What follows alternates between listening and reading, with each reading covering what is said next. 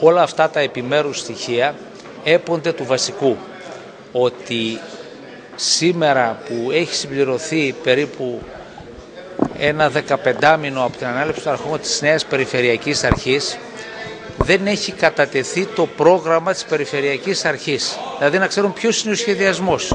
Τρία πράγματα, πέντε πράγματα. Τι θέλουμε να κάνουμε. Ποιος είναι ο στόχος, ποιο είναι το όνειρο αυτών όλων των συναδέλφων που έχουν αναλάβει την ευθύνη της διοίκησης της περιφέρειας. Δεν το ξέρουμε.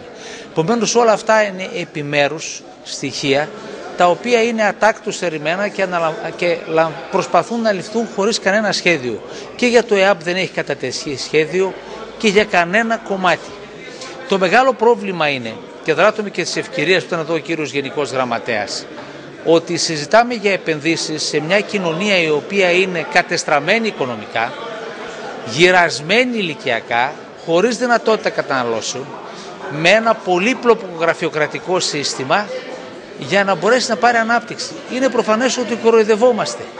Όταν έχουμε ένα κρατικό σύστημα που δυσλειτουργεί σε τόσο μεγάλο επίπεδο, πιστεύω ότι είναι ένα όνειρο απατηλής νύχτας να έχουμε την εκτίμηση ότι μπορούν να έρθουν κάποιοι να κάνουν επενδύσεις γιατί; Να πουλήσουν σε ποιον, με ποιους όρους, με τη γραφειοκρατία; Τα προβλήματα της χώρας είναι εξαιρετικά μεγάλα και οξύνονται μέρα με τη μέρα.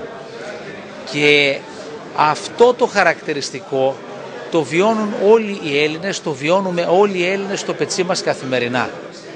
Πιστεύω ότι σε όλα τα επίπεδα διοίκησης της πατρίδα μας πρέπει να υπάρχει καθαρός λόγος, σταθερότητα και στόχευση. Ανταυτού βλέπουμε ότι αυτή την κρίσιμη περίοδο σε όλα τα επίπεδα και στην περιφέρεια Δυτικής Μακεδονίας πάμε βλέποντας και κάνοντας. Προφανώς αυτό δεν μπορεί να οδηγήσει σε θετικά αποτελέσματα.